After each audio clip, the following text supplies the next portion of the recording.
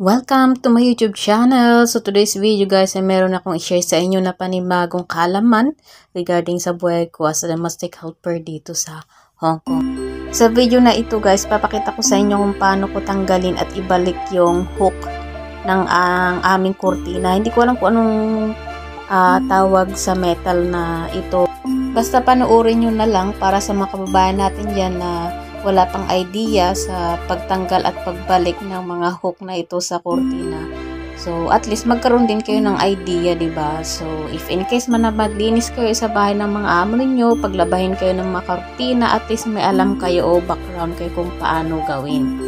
So, ayan, ayusin ko lang tong camera para makita ninyo yung ayos ng pagkakalagay ng hook. So, ayan. So, ito, papakita ko sa inyo, ito yung itsura sa harap at ito naman sa likod. So, ganyan yung pagkakalagay ng hook. Ayan, o. Oh. So, tatanggalin ko kasi lalaban ko na itong dalawang kurtina ko. So, ayan, hugutin nyo lang yan pababa. Matatanggalin yung metal na yan. So, ganyan lang po kadali magtanggal. So, kung first time nyo mag uh, ilinis ng mga ganito, bago nyo tanggalin, tanggalin yung metal na to guys, tignan nyo muna yung kung paano nakalagay para at least pagkatap pagkatapos nyong labhan at ibabalik nyo na at least alam nyo kung ano yung gagawin ninyo.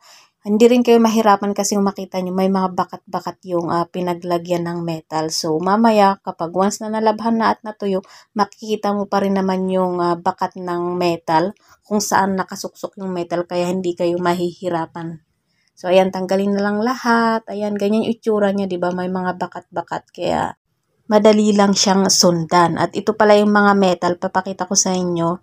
Dalawang klase. Yung una, yung pinakadulo. Ayan, ito yung ano, ilalagay nyo. Tapos, dun sa gitna naman ito, apat yung paa. So, it, so ayan, ito yung itsura niya, guys. Ayan, oh.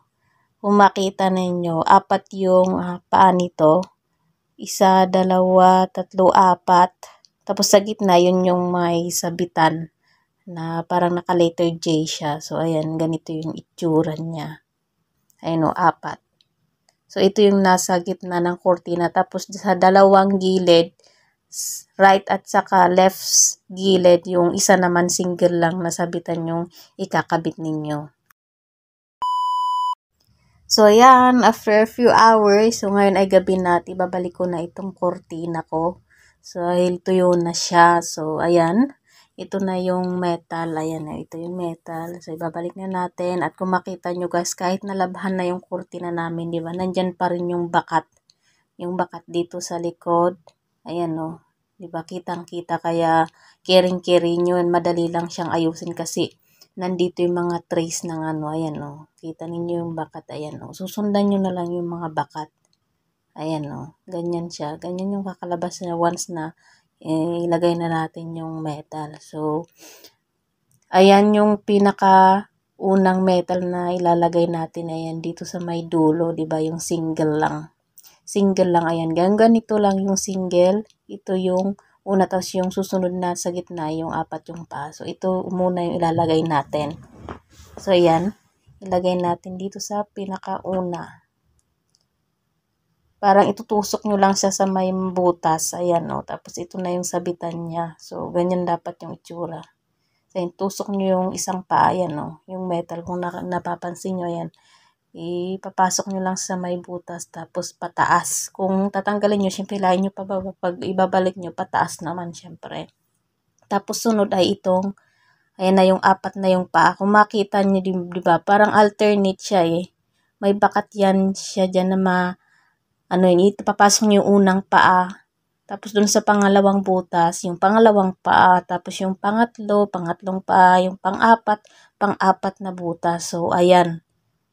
So, ganyan po yung paglagay. Kung panoorin nyo kung paano ko siya ilagay. Tapos, ayan, hilain nyo yung hook, yung letter J na yan. Hilain nyo pataas para pumasok siya. So, ganyan yung itsura niya guys. Ayan o, oh, diba? Ayan. So, di ba ang ganda? Madali lang siyang ano, madali lang siyang ayusin kasi may mga bakat na siya. So, kung makita nyo guys, yung paglagay ng hook, meron siyang alternate, parang may isang, uh, may isang uh, tawag nito, may isang space Tapos, pagkatapos ng isang space na yan, ayun na, ilalagay nyo yung next na hook naman. So, ayan, parang may alternate siya, may space siya sa gitna.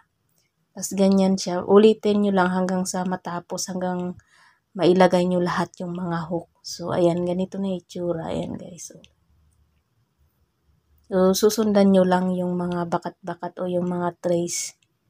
Ayan, pasok nyo lang yung mga paa. Ayan. So, parang nagtatahi lang kayo. Ganyan itsura to silahin nyo taas para maganda. Ayan, ito na itsura niya guys, di ba? Um, sa, sa harap ganito. Ayan. So, habang uh, binabalik ko tong iba guys, uh, experience ko kasi nung unang, uh, nag, nung unang lap ako ng kurtina, talagang walang sinabi sa akin ng amo ko. Hindi ako tinura, tinuruan kung paano alisin at ibalat yung mga, ho, mga hook. So, ako na lang yung nagkusa. Basta sinabihan na ako na lalaban ko yung kurtina. Ayun lang, hindi man lang ako tinuruan. So, buti na lang guys, itong uh, mga hook na to ay madali lang siyang tanggalin. Madali lang din siyang uh, uh, ibalik. So, ang ginawa ko nun, tinandaan ko na lang kung saan nakalagay yung mga hook, tapos may mga bakat din, yun na lang din yung sinundan ko. Kung hindi naman ganito yung kurtina nyo guys, pwede nyo namang picturean para at least meron kayong gagayahin if in case man na mahirap tandaan yung uh, pagkakalagay ng mga hook doon sa kurtina ninyo. At ito naman guys, papakita, papakita ko sa inyo kung saan natin isabit yung kurtina. Ganito yung stand niya, yung sabitan namin. So, madali lang naman siya. Ipasok-pasok nyo lang dito sa may butas. Yung pinakauna, ayan, dito natin ipapasok. Ayan, o. Oh. Tapos, yung pangalawang hook, dito na siya sa may puti. Tsaka may circle. Ayan, papakita ko sa inyo kung paano ko ikakabit. Ayan, yung pinakauna. Ayan, ito, yung single lang yung paa. Ayan, o. Oh. Ayan, dito natin isabit sa pinakaunang butas sa gilid. Ayan. So, pasok lang natin sa may butas. Ganyan lang po kadali kapag tayo ay magkakabit. Pero be careful din kasi madali lang siyang ano guys, maputol itong ano. Lalo na pag matagal na. Napupo, nasisira yung pag pinagsasabitan ko. Kaya buti na lang may mga extra pa. Kaya naisasabi ko yan. Pa isa-isa lang ganyan siya oh guys. O ganyan siya magkakabit nyo lang. Pasok nyo lang yung mga paa. Yan. So, yun natatanggal siya kasi. So, ayan, ganyan siya.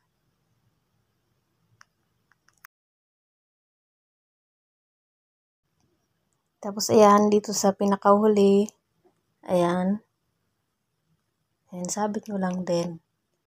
So, ayan, naikabit na natin itong kurtina, yung itong kabilang side. So, ito yung itsura. So, ayan, medyo malabo pala yung video ko. So, ito yung itsura na at ilalagay na natin yung isa pa ulit.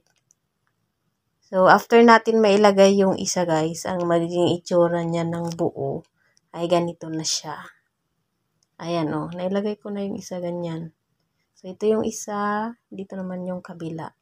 So, ganyan po, ayan, ganyan lang siya kasimple kung paano ibalik at uh, tanggalin yung mga hook sa ating mga kortina. So, ayan yung short video ko sa araw na ito.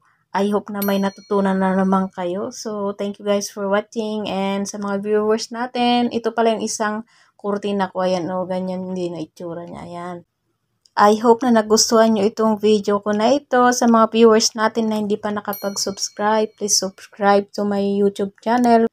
For more videos, sa mga gustong magkaroon ng idea dyan kung ano yung buhay namin as domestic helper, please subscribe para ma-update kayo sa mga susunod kong videos. So, thank you guys for watching. See you in my next vlog.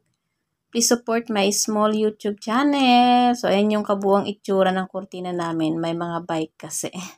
Charot.